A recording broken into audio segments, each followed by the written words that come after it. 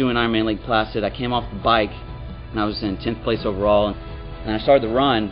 Immediately, things fell apart. It was like somebody's hitting me with a baseball bat with every step I took. As triathletes, we're used to pain, but this was this was wrong. We go home, go to the doctor, and my white blood cells, which should be no higher than 10,000, were 45,000. I knew that the diagnosis was wasn't going to be good, and it ended up being CML, chronic myeloid or myelogenous leukemia. Life changed right then and there. I didn't think I'd ever laugh again or, or smile. The thought of love and, and all these other emotions and just little things that we take for granted going to be tainted by my diagnosis.